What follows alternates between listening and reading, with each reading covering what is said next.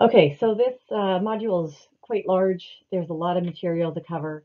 I will do a uh, study guide when it's coming close to the time to do the test, um, but don't freak out too much. I know there's a lot of stuff in here. Um, we'll go over some of this a lot so that you can hear how things are pronounced and um, just the basic structures of the different types of digestive systems when we're talking about small animals versus ruminants. Um, so to start off with, we have um, herbivores, which eat only plant material, and they include ruminants, and ruminants include cattle and goats, and non-ruminants are horses. Carnivores eat meat, just like cats. Cats are obligate carnivores, meaning that they cannot survive without eating meat. Um, so if somebody wants to try to put their cat on an all vegan or vegetarian diet, um, that won't work. And I've had someone suggest that before. Um, I think now with there being so many vegans and vegetarians out there, um, I'm hoping that this won't become a thing of the future. Uh, omnivores eat a combination of plants and meat, so humans, pigs, and dogs.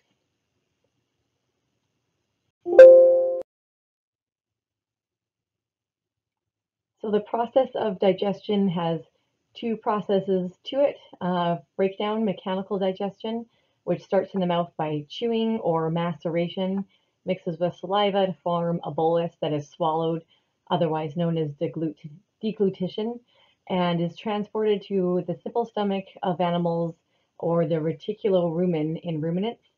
The mechanical breakdown occurs in the stomach as well with mixing and kneading and further breakdown into smaller particles and then goes on to peristalsis. Um, chemical reactions also start in the mouth with saliva and enzymes.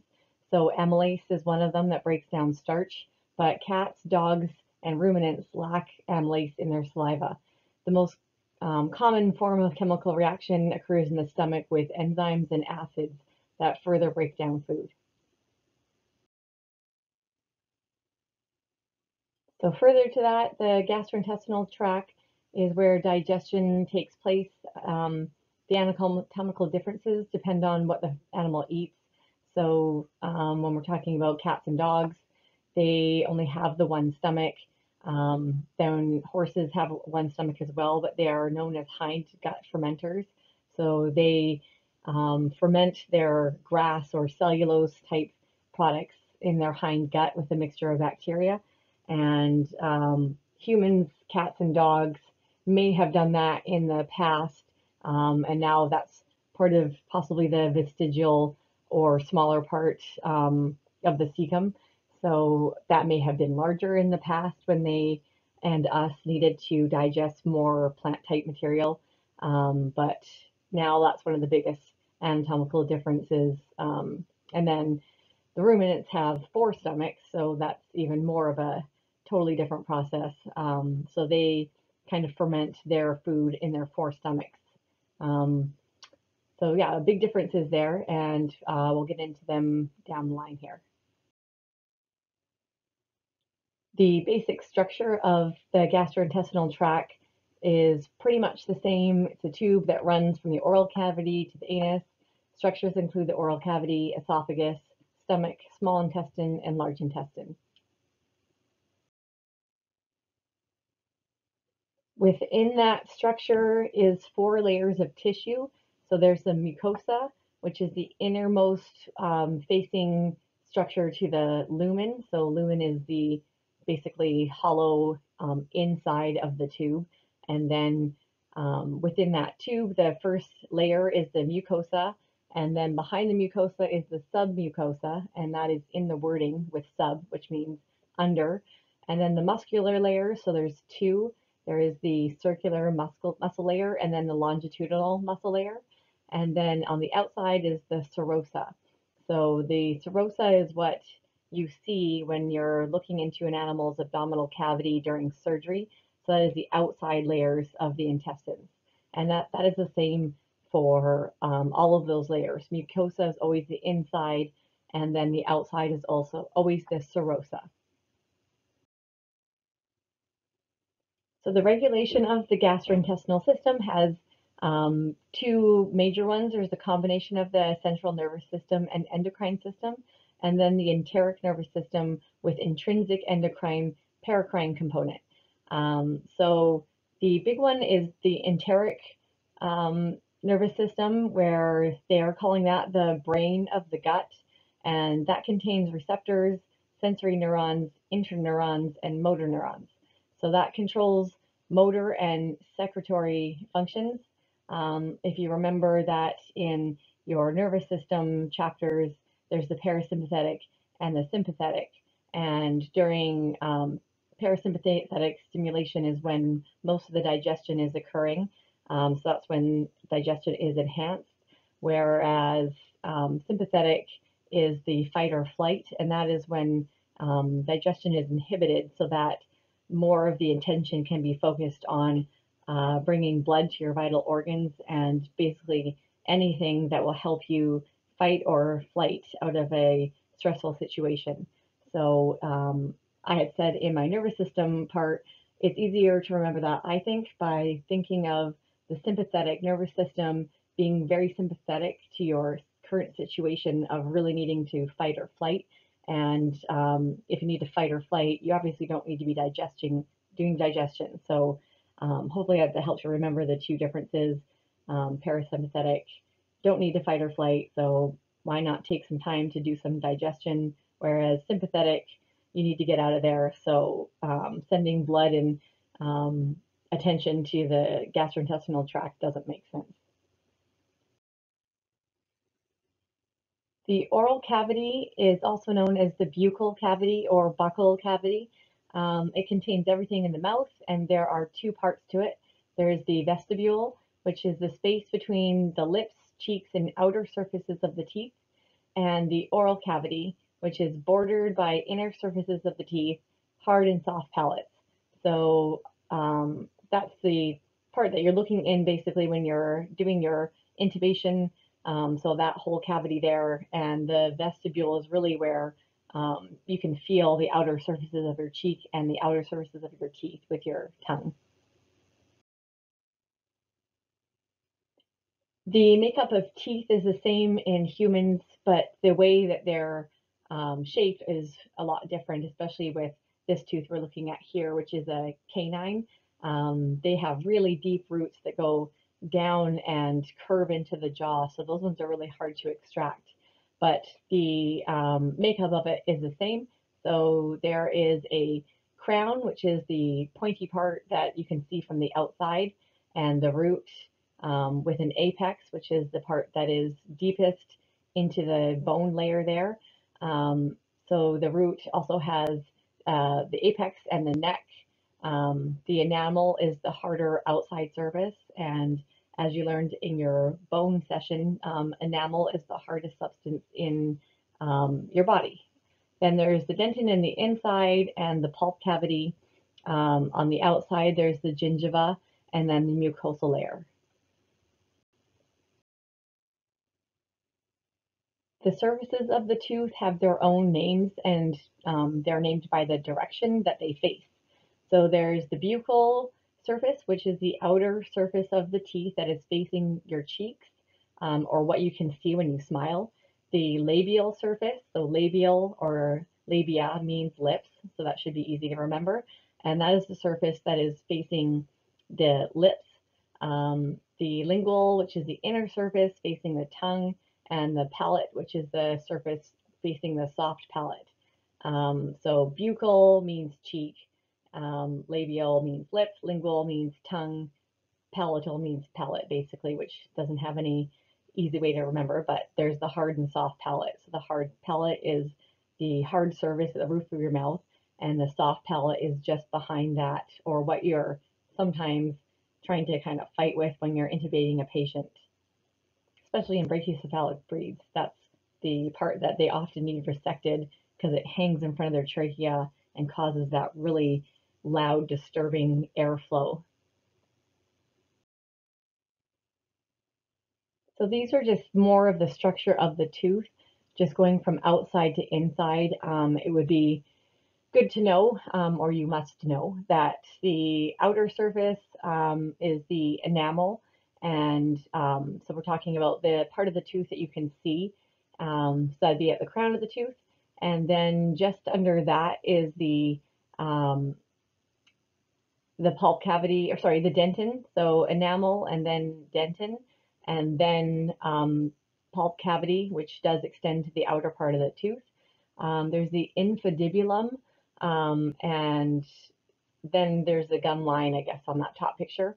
Um, below the uh, below the tooth line or gum line, um, it then goes instead of having enamel, they have cementum, which is that thin bone layer, then dentin, and then the pulp cavity again.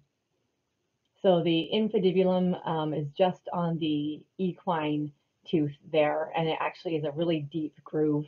Um, we do not have that in carnivore um, or human teeth. So classification of teeth, there are the brachiodonts and the hypsodonts. So brachiodont are carnivores, humans, and pigs, also ruminant incisors. So they're small crowns with well-developed roots, and they do not grow continually. So that's the big difference. Um, the hypsodont tooth, um, just think of horses, incisors, and sheep teeth. Um, they need to be constantly ground down. Same with rodents like mice and lagomorphs, which are rabbits. So if they're not ground down, um, and often the ones that we keep as pets need to actually have us have them ground down, um, or they become really long and can grow into the roof of their mouth or um, their cheeks and become very painful. Um, this is one big reason that a horse or a rat or a rabbit may stop eating, um, or it kind of makes it so they can't chew properly, which can cause digestion issues as well. So hypsodont teeth, um, large reserve of the crown beneath the gingiva, and they grow continually. Here again are just some more differences between the brachiodont and hypsodont tooth. Um, so this is a good picture of the brachiodont tooth. It has the enamel, the dentin, the pulp cavity, um, gingival sulcus, and then that uh, periodontal ligament, which is the ligament that, um, if any of you have seen um, tooth extractions, uh, when I was just graduated or even before, um, I was taught how to remove teeth because it wasn't something that we weren't allowed to do until a couple of years later. So that periodontal ligament is what you use your elevators for um, and sit there and have to tirelessly try to make that ligament tire and come away from the tooth. Um, in a healthier tooth, that can take forever. And then there's the bone, um, the apical delta, where the pulp cavity meets those um, nerves and uh, the cementum again, which is that bone, thin bone that is attached to the periodontal ligament and the tooth. And then on the other side is the hypsodont tooth. Um, so they still have cementum, um, dentin, and enamel, um, but their pulp cavities are much smaller and they have an open root apex. So a um, bit of a difference there. In the hypsodont teeth, there is radicular hypsodont, which the apices or the apical part of the root remain open for a long time. So that was um, that picture uh, that we just saw previously where there's that open spot um, space there. So the apices in these particular teeth eventually do close and stop growing. And these are the teeth found in the cheek of a horse. The aradicular hypsodont teeth lack a true root and they grow continuously throughout the animal's life. Um, so those are the teeth found in lagomorphs, um, so rabbits, and some rodents. Uh, so think of those front teeth of rabbits and rats that continually grow and um, need to be ground down by their own chewing and um, uh, usually some people give them uh, little toys that they can chew on and uh, and or we have to grind them down for them. So nothing really new here. Everyone has deciduous teeth, including humans. It's your baby teeth. All domestic species have two sets of teeth, so deciduous ones and permanent or adult, adult teeth. The deciduous teeth are smaller and whiter and often hollow. Um, they are present in the jaw at birth and they erupt through the gums at different times depending on species. So in most cases, um, cats and dogs should have a full set of their adult teeth by about six months. Um, the smaller breeds like Chihuahuas and Yorkies, uh, we would often remove their deciduous teeth if they were still present at their spay and neuter. Um, and a lot of the times you could see their deciduous teeth right next to their adult teeth, and that can really cause a lot of damage for those adult teeth. Um, so that's usually a good time to take them out so they're already under anesthesia um, and they really should be gone by then. Heterodentition is really just referring to the different types of teeth. So hetero means different, homo means the same. So um, basically hetero is just the different types and shape of teeth, including the incisors, canines, premolars, and molars. So those are all different. They have different functions, um, therefore they are heterodont. Unfortunately, this is something that you need to remember um, is the dental formula and the total number of teeth. So um, make sure you know these. Um, canine puppy has 28, adult has 42. They want you to know which teeth um, a puppy possesses that an adult doesn't. Same with kitten and adult. Um, and equine, porcine, and bovine, um, you just have to know the number of teeth they have. So the Triadan system is one that we use in veterinary medicine. Um, there is a video done by Rabina Mansfield in your module that um, she has a skull and she goes through um, the buccal surfaces and all the inside of the mouth and the teeth, the different um, numbering structures. So that's a really good video to watch. But this is how we number um, and chart our dog and cat teeth when we're doing that and horse. Um, so that's one another thing you need to know.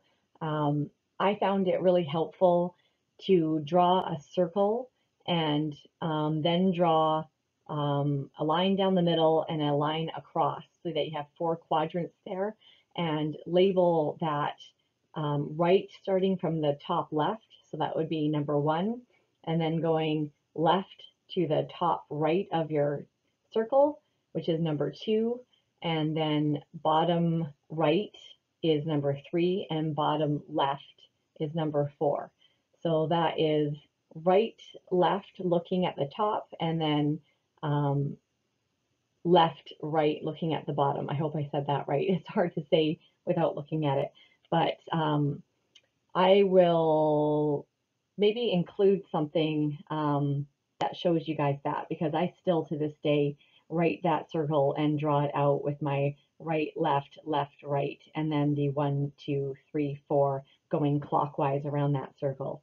Um, and I don't do dentals anymore being an emergency medicine, but if an animal comes in with a missing tooth, I still need to know how to number that appropriately for the medical record.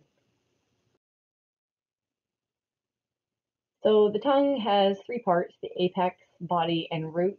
Um, the apex is almost always going to be the pointy part of anything. So the apex of the heart is the pointy part.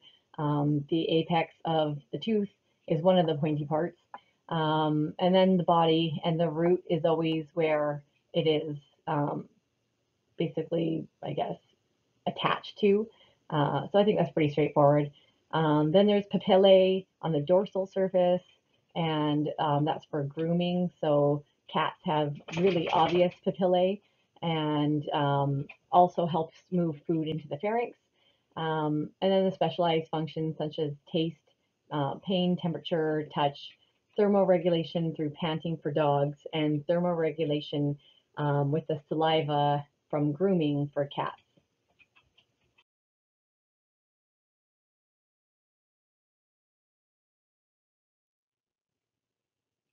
So onto saliva, the functions are lubrication, antibacterial action with that lysozyme, um, pH regulation, thermoregulation. Um, so with the panting, um, that's more of an evaporation process in the mouth on the tongue. Um, the thermoregulation that is more described is the um, grooming and depositing that saliva onto the animal's coat and skin and then the evaporation of that saliva, which is actually the cooling mechanism. Um, and then there's the enzymatic digestion uh, with amylase. Um, and then there's uh, the three paired glands, so the parotid, the mandibular, and the sublingual. Um, those are the three main um, salivary glands that you guys were pointing out in your assignment one. The temporal mandibular joint, otherwise known as the TMJ, is the connection between the condylar process of the mandible, so the bottom, and the mandibular process, mandibular fossa of the temporal bone. So that is the upper part, and the fossa is where the mandible connects with the upper temporal bone.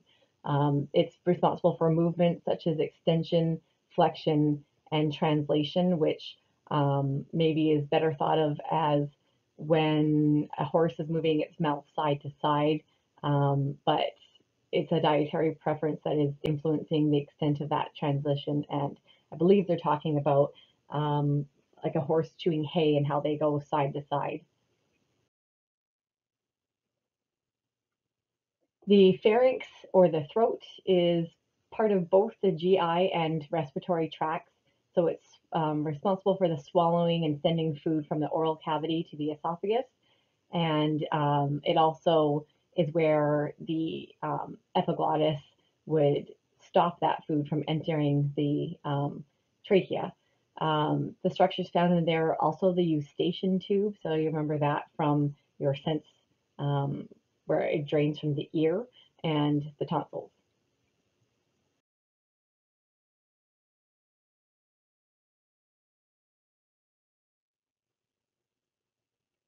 Digestion in the oral cavity um, and pharynx starts with prehension, so that is uh, how they actually get that food into their mouth.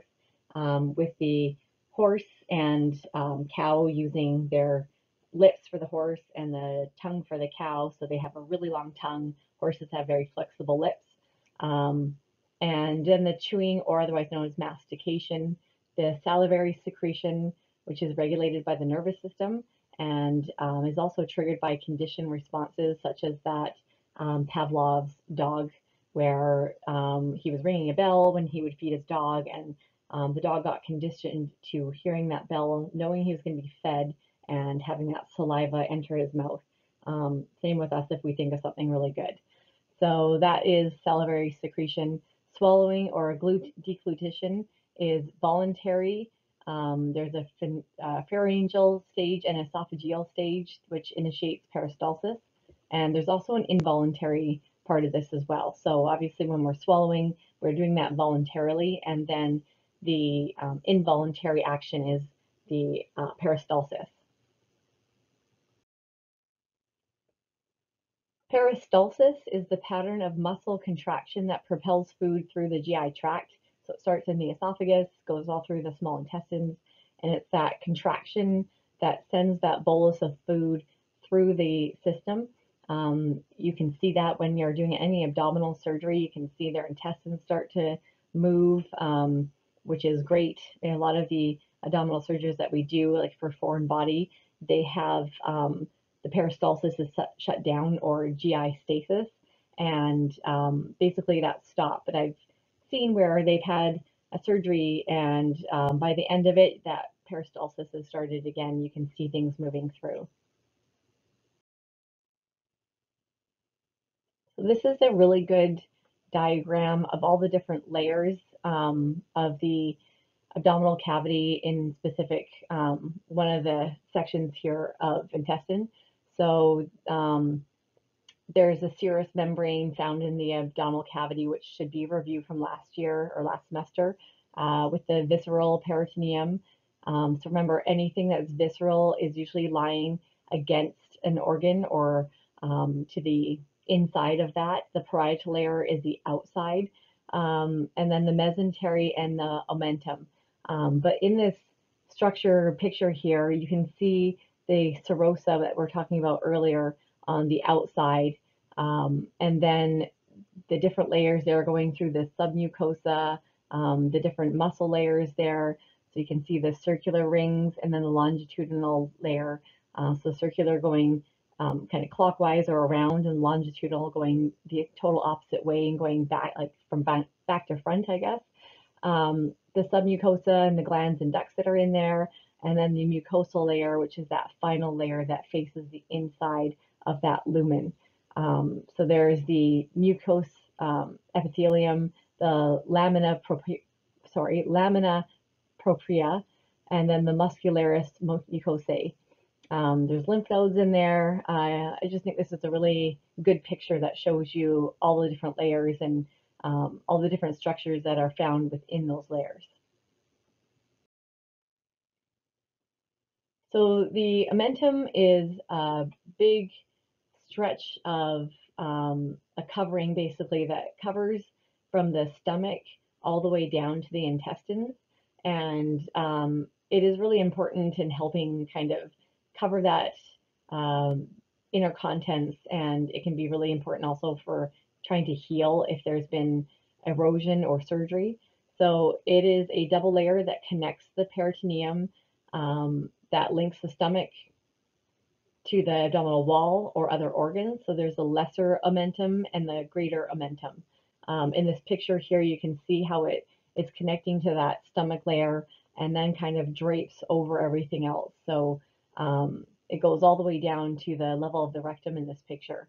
Um, there's a probably a better picture in your lab manual where you can see what this actually looks like. You've probably seen it if you've seen any abdominal surgery as that big kind of lacy looking fatty structure.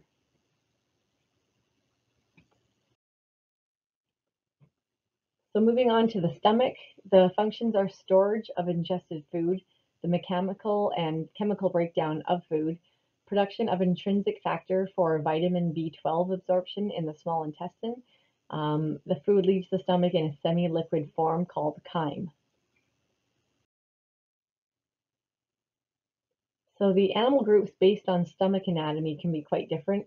There's the monogastric or single um, stomach, dog, cats, and horses. The ruminants have a complex consisting um, stomach of four chambers. So those are cows, goats, and sheep. And unfortunately, they really didn't think ahead, I don't think, naming these stomachs because there are four stomachs and there's also a four stomach with a F-O-R-E, meaning the, the four or ahead. Um, so it's an unfortunate way to name things, but um, there's a lot of unfortunate naming in um, medical and especially in uh, anatomy, I believe.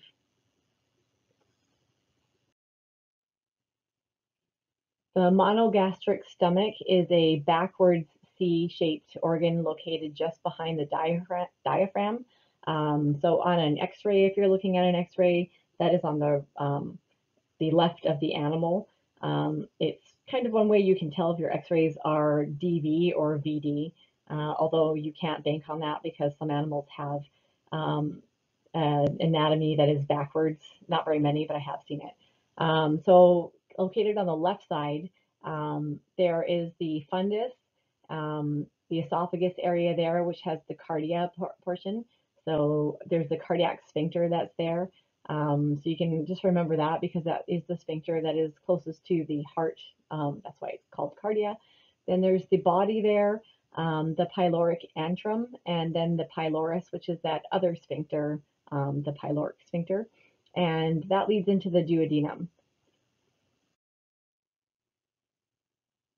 So inside that stomach, there are the rugae um, or rugal folds, and you can see these on x-rays of really empty stomachs that have gas. Uh, so you can actually see these folds. So they are um, transient folds, meaning that they can move um, within the gastric mucosa and they allow the stomach to expand when filled with food and then they collapse back down. So this picture here is showing um, a collapsed stomach with all those rugal folds um, kind of folded up together. Um, they also increase the surface area for absorption. So within that mucosal layer, there are gastric pits. Um, so they are, there's different glandular cells, each with different secretions. Um, there's a mucous neck cell, chief cell, and a parietal cell. and then the uh, endocrine cell there in the middle. Um, so they all have different um, secretory or secretions that they um, excrete into the stomach, which all have different um, uh, functions, which uh, will come up next. So the secretions of the mucus, neck cells, chief cell, and parietal cells are, um, so mucus neck cells, we'll start with, um, they secrete a thin, less viscous mucus than the surface of the mucus cells, and they are also considered progenitor cells, um, or they are capable of dividing and creating new cells. So progenitor, um, like progeny, means creating something new. Um, so they either uh, migrate up into the mucosal surface or farther down into the gastric glands where they remain mucus cells, or they become parietal or chief cells. So the um, chief cells are the um, located in the fundic glandular region, and they are uh, the cells that secrete pepsinogen. So pepsinogen is an uh, inactive precursor form to the enzyme pepsin.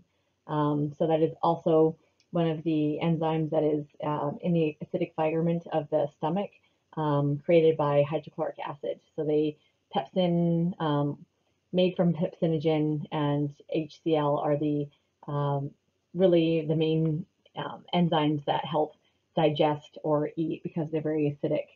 Um, and then the other one is the parietal cells. so they are gastric glands that secrete the hydrogen and uh, chloride, which form the hydrochloric acid or HCl in the lumen of the stomach.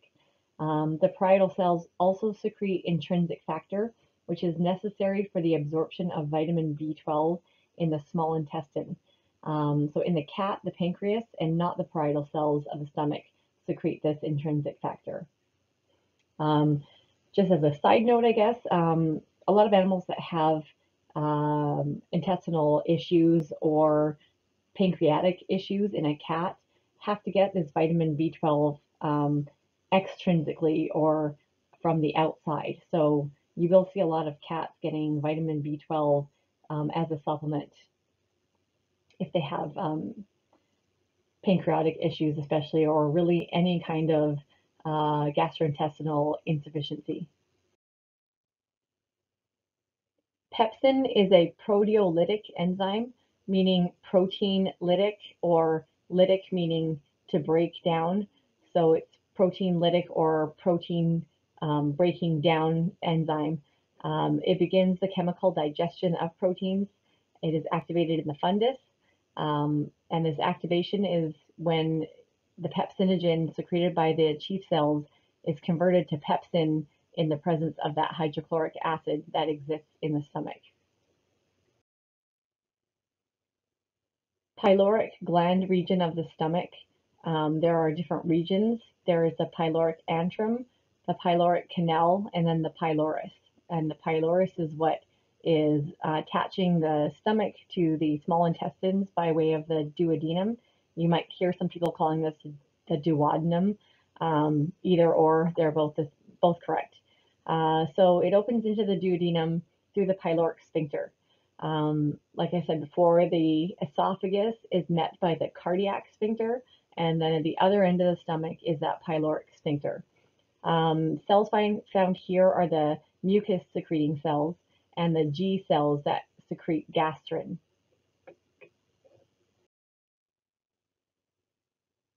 So here are some fun words that I'll probably trip over, but uh, the stimulation of stomach secretions, there's three substances that are stimulated by secretion by glandular cells.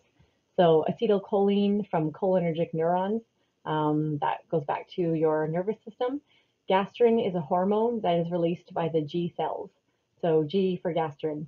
Histamine is secreted by the enterochromaffin-like cells or ECL cells in the gastric mucosa. There is a cephalic phase of secretion, which is um, meaning your head. So cephalic means head or ceph. Um, it's the same as a cephalic vein. It is goes up to um, the part of the vena cava that meets with the head. Um, so that is the part where it is the anticipation of eating a meal through your brain. So cephalic head brain.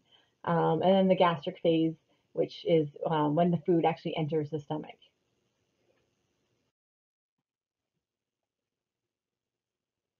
So the cephalic phase of secretion is going into a bit more, um, bit more into it. Uh, so it begins with the anticipation of eating, and it involves all of the neuron processes um, of that enteric system. So the enteric nervous system is stimulated when you start thinking about eating, and then uh, that releases acetylcholine, which binds to receptors. Um, the parietal cells secrete hydrogen ions and chloride ions that then form hydrochloric acid. The chief cells start secreting pepsinogen into the stomach where it meets that hydrochloric acid and becomes pepsin. Um, so those are responsible for helping break down the food, as well as the G cells secrete gastrin, that hormone, into the bloodstream, which then travels to the parietal cells and the ECL cells, and they tell those cells to secrete their secretions such as histamine. So then the acetylcholine also triggers the histamine release um, and stimulates the parietal cells to produce even more hydrochloric acid. So all of this is a uh, feedback kind of loop where you start thinking about eating and your um, central nervous system just starts all of this for you so that as soon as you eat, all of these systems and pathways and hormones and enzymes are already on their way to receiving that food to help start break it down.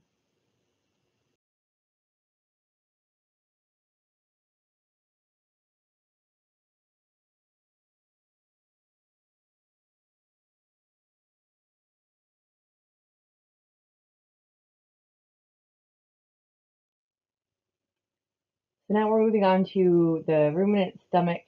Um, there are four chambers, and the first three of these chambers are called the forestomachs, which is really a terrible name when there's four actual stomachs in a ruminant, but they call the first three of them forestomachs. I don't know. But they are the reticulum, the rumen, and the omasum. And the last stomach is the abomasum, um, or the true stomach. So that's more like a human, canine, or feline stomach.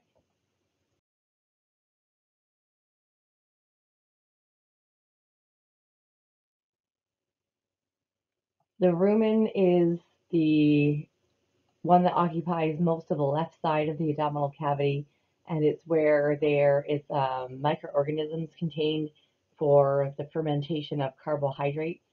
And um, there are papillae in mucosa that increase surface area for absorption, much like our stomach. Um, and then there are pillars that divide the rumen into a dorsal, ventral, and then two caudal sacs.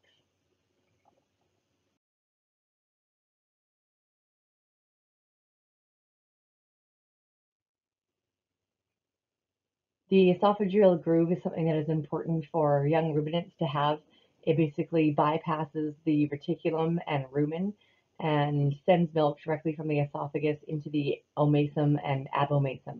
So they don't need the fermentation bacteria that exist in the um, rumen and reticulum because they're not eating grass yet. So if that milk were to spill into those two stomachs, then that bacteria that's there would ferment the milk causing lactic acid to build up, and lactic acid is acidic, so it also makes the animal acidotic.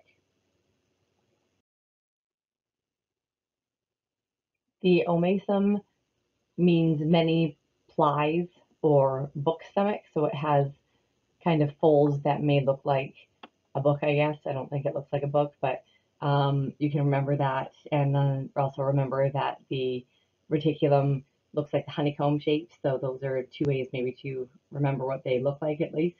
Um, the omasum connects the reticulorumen to the abomasum, and the folds are somewhat like the folds in our stomachs, where there are papillae, and um, those folds basically increase the surface area in that stomach.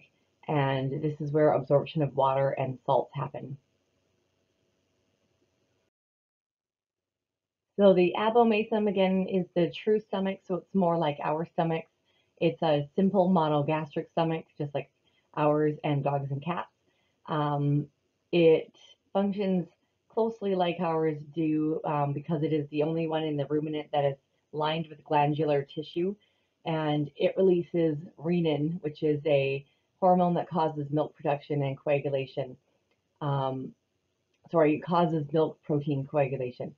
Um, prolongs time for pepsin to break down protein, so it's kind of like our gastrin, um, and it's kind of like how the pepsinogen, when it hits our um, stomach acid, it turns into pepsin, and uh, pepsin breaks down proteins in our stomachs as well. So it is everything kind of like a monogastric stomach, except um, it doesn't store food. So ours stores food, and we can take a long time for it to break down in there and to be digested and then move out. But because animals have a mostly cellulose um, or carbohydrate diet, they have all those other stomachs first that breaks down the food and then sends it to the abomasum um, that basically breaks it down further and sends it right out. So it's not stored there. Um, digestion is happening along all the other stomachs first and then continues into this one.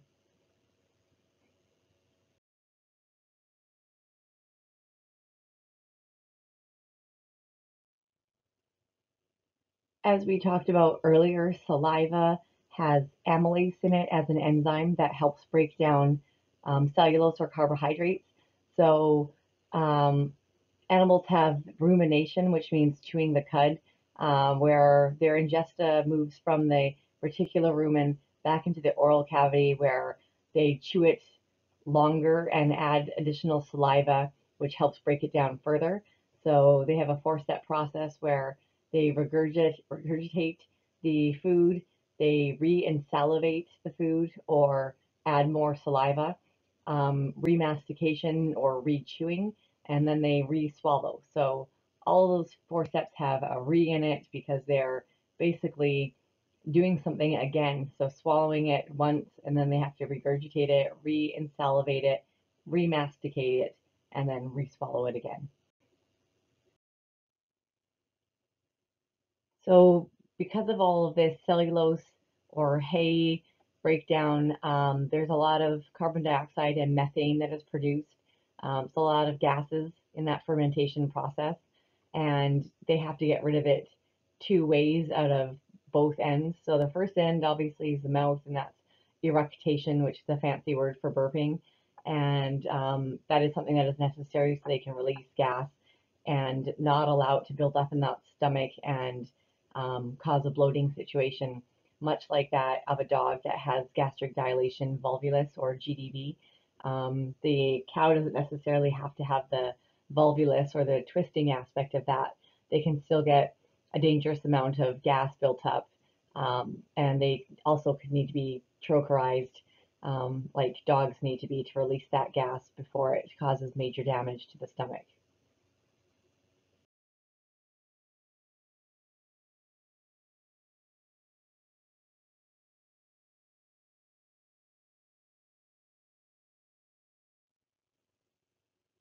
Just a little bit on the lipid digestion in ruminants. So there's lipids or fats found in the grass and plants they eat. They are triglycerides, glycolipids, and free fatty acids. And the lipids constitute a small portion of their diet. Um, too many lipids decrease appetite and reduces motility of the reticular rumen and decreases the fermentation of cellulose.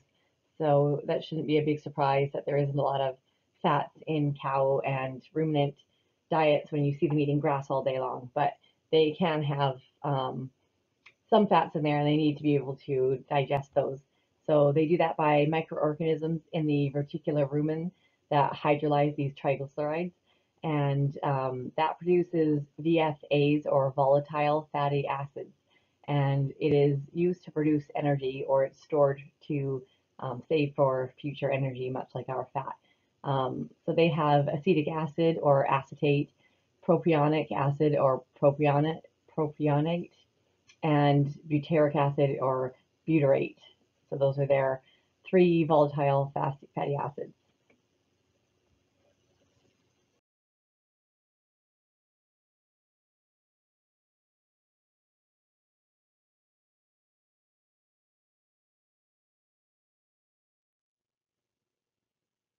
All right, so getting back to the um, dogs and cats, the small intestine is what we're going to move on to.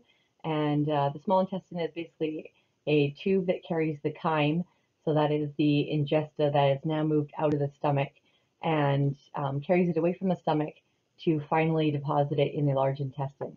So there are three distinct parts of the small intestine, the duodenum, the jejunum, and the ileum. Uh, like I said before, some people call the first one the duodenum. Um, I think jejunum and ileum don't have very many different pronunciations, but those are the three major parts. The structure of the intestines uh, is basically suspended from the body wall by mesentery. The duodenum receives the chyme through the pyloric sphincter. Um, the jejunum is the longest part of the small intestine where most of the chemical digestion and absorption, absorption occurs. Um, the ileum is prominent with Peyer's patches, which are um, lymphoid tissue, and uh, empties into the large intestine at the cecum in the horse and at the colon at the dog or cat. So the cecum and colon are the two um, major organs that the ileum empties into, um, again, respectively, in the horse has the cecum, um, colon for dog and cat, or at either for the ruminant and the pig. So to be able to digest this food and give us enough time to be able to digest food and really get all the nutrients out of it, the small intestine has made some adaptations to help increase the surface area and um, these are these microvilli um, or villi and intestinal crypts in the small intestine. So these are what are found in the walls lining the small intestine. And um, the folds in the small intestine, intestine are called plications. Um, this is what you can see on an x-ray. And if an animal has a foreign body, such as a linear, linear foreign body, um, like a string, then that string can anchor itself inside the stomach or anchor itself in another portion of the small intestine and basically plicate or really fold up or bunch up those intestines, um, which indicates that they need to have surgery. But you can see this bunching on x-rays. But the uh, folds in general are also called plications. Then there are the villi and the mucosa. So that is that um, inner first lining of the lumen of an intestine, the mucosa. Um, that's where the villi and the microvilli live. Um, the microvilli have a brush border, which uh, we talked about in um, last semester. Uh, that's where all those cells are kept, um, all the endothelial cells that help um, take in the nutrients. And then there are the intestinal crypts, which are um, crypts of Langerhans. they're basically the microvilli and villi are the um, projection and the crypts are that downward um, part of the, uh, like the bottom or the base of the uh, projection.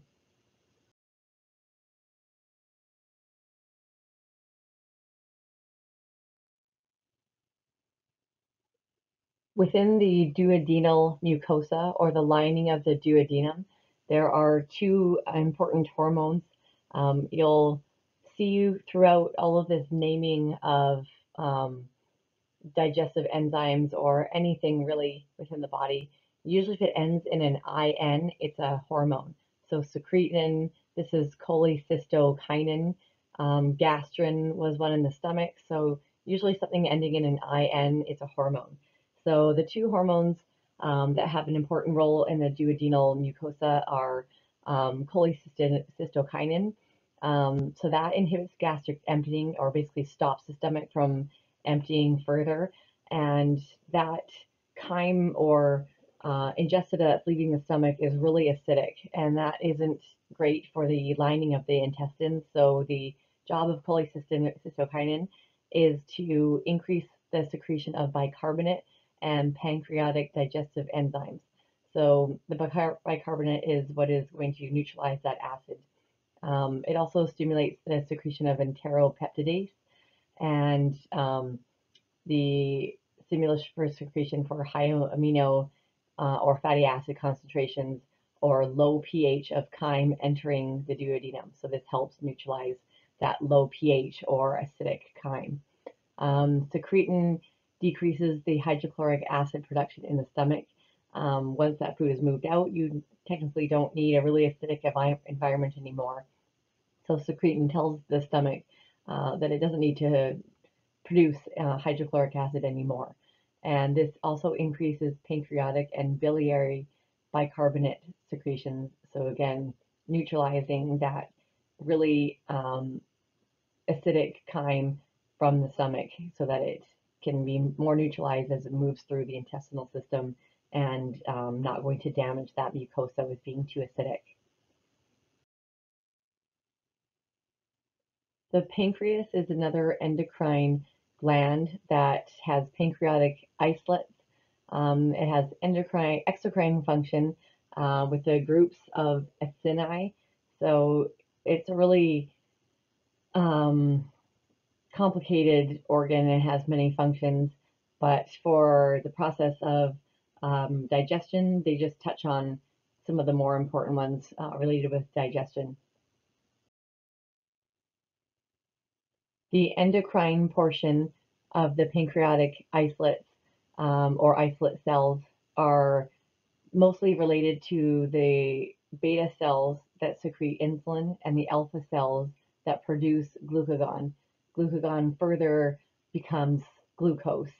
So um, if you think about the pancreas being what we regulate for diabetes, or if those cells are damaged, then they don't secrete insulin, then you can think of the endocrine system being related to the production of glucagon or glucose, and then also insulin. So endocrine, think diabetes, and those are the two more um, important um, things that the pancreatic islet cells produce.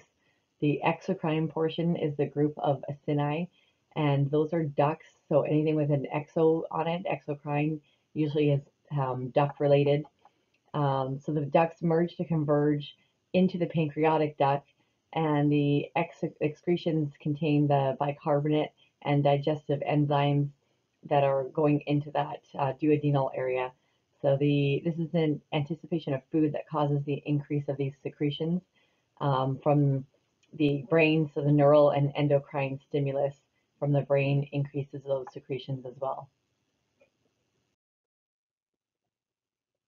So here are some more difficult words, basically, but the exocrine function of the pancreas also has uh, enzymes that are vital to digestion, and these include lipase, amylase, nuclease, and protease. So usually enzymes um, have ACE on the end of them, and um, these may seem familiar, especially if you've been involved in cases where um, an animal has severe pancreatitis.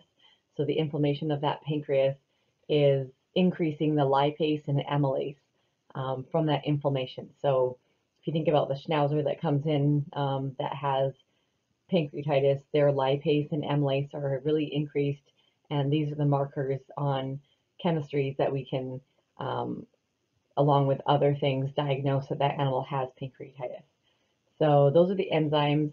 Then there's proenzyme or zymogen, um, all the proteolytic enzymes secreted in an active form in the pancreas into the duodenum. Um, as we said before, the proteolytic or protein lytic um, that's one way to remember. That's the protein digestion enzyme.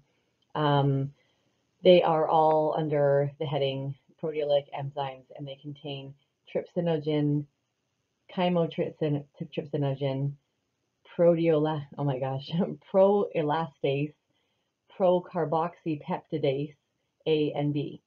So those are difficult for me to say. Good luck. Um, I don't think that they're going to be something that you're going to have to say, so you're lucky. Um, so all of these are related in the digestion of um, proteins and um, they are what the pancreas is involved in. So there's a lot of enzymes there um, for just digestion in general and then a lot that are uh, responsible for the protein digestion. So if you're having issues with your pancreas, you can imagine that you're not going to be able to digest your food very well.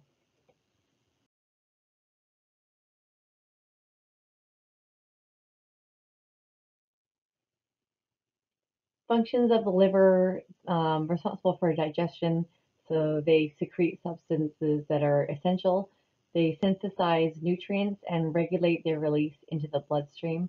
They excrete toxic substances uh, and they produce plasma proteins um, like albumin, cholesterol, and blood coagulation factor. So if an animal has liver disease, um, they could have also a coagulopathy or an issue with their blood um, coagulation because of the factors that are produced by the liver.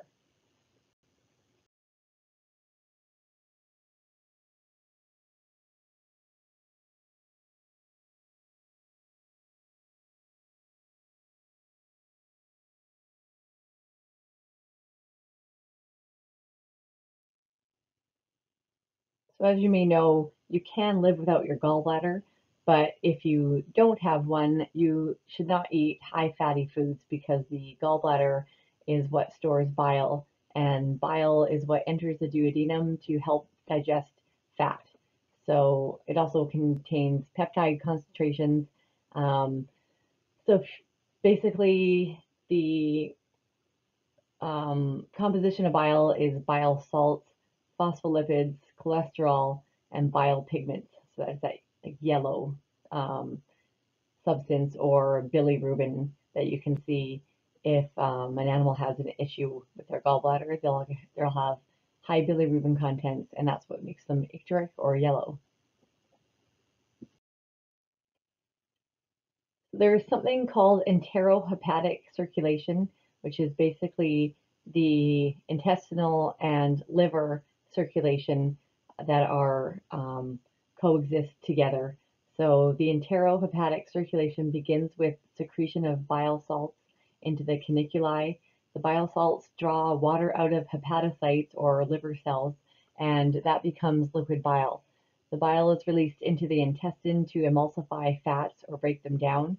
Bile salts reabsorbed by when they reach the ileum um, bile salts enter the hepatic portal vein and return back to the liver, and the liver reabsorbs bile salts and recycles them back into the bile. So there's a whole enterohepatic circulation when it's re, um, talking about bile salts and how it's released and then reabsorbed back into the hepatic circulation or um, blood circulation by the portal vein.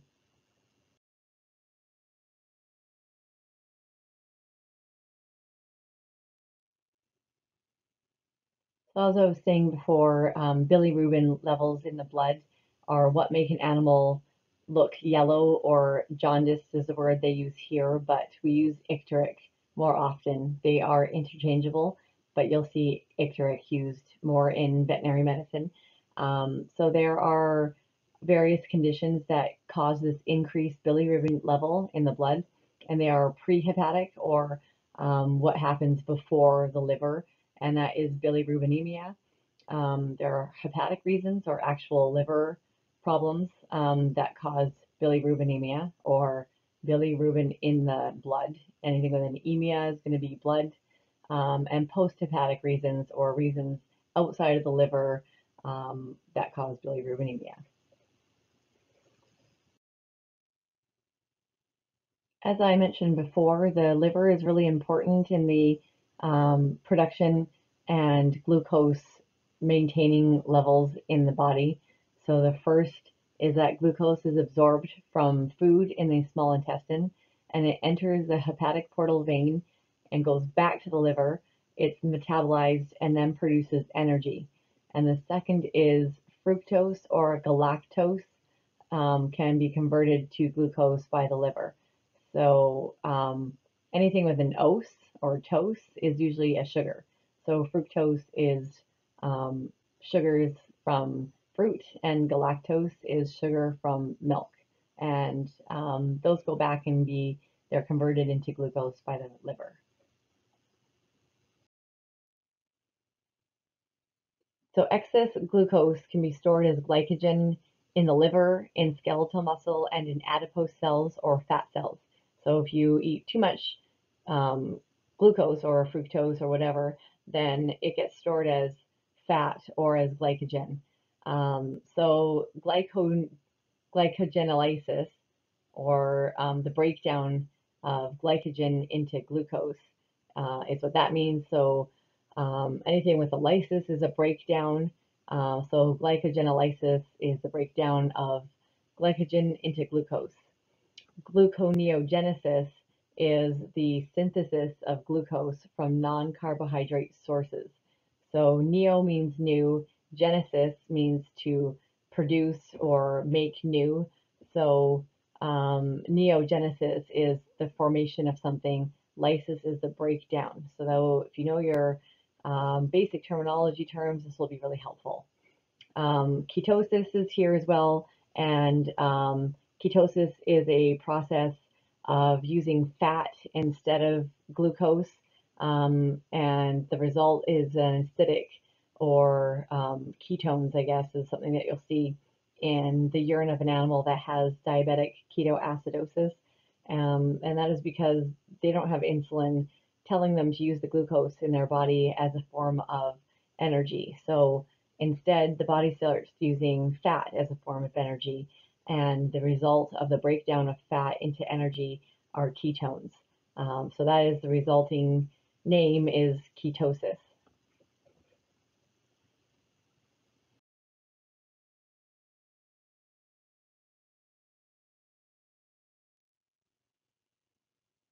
the next uh, series of slides, um, you can just look through yourself and um, see the process of carbohydrate and protein and lipid digestion. Um, and then it moves on to the cecum and the large intestine of um, carnivores and ruminants and horses and what the differences are. Um, so in the large intestine, the next couple slides really show the differences in um, why they have different large intestines because of the different types of food they eat.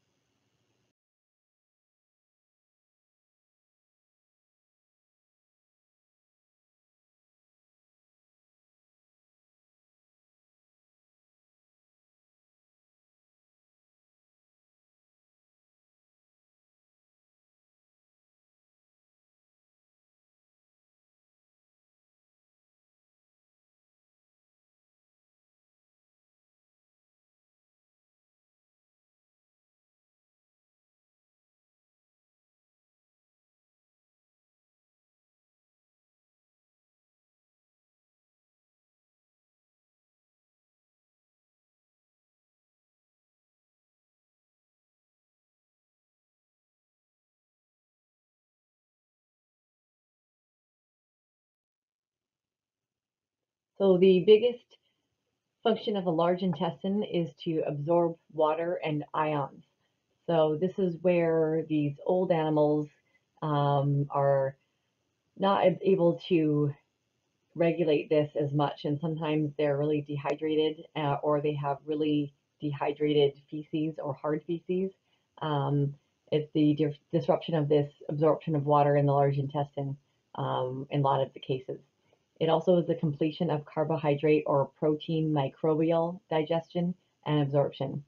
In the horse, it is the fermentation center or the hind gut.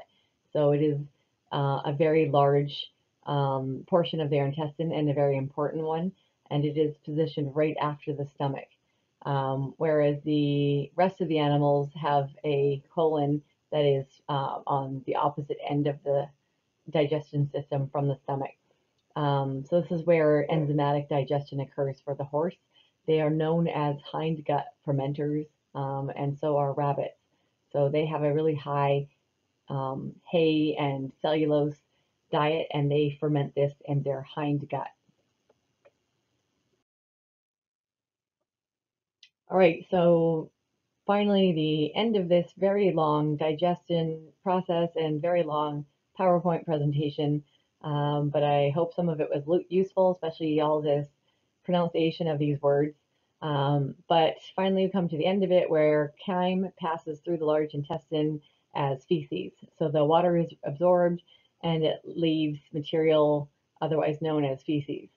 The sensory receptors are stimulated when feces enter the rectum and basically tell us to initiate um, defecation reflex contractions that move the feces out through inner and outer voluntary sphincter muscles. So um, that is when the need to defecate is perceived by the brain. So when it enters food or feces enters the rectum, then it tells us that um, that whole process is finished and we need to defecate.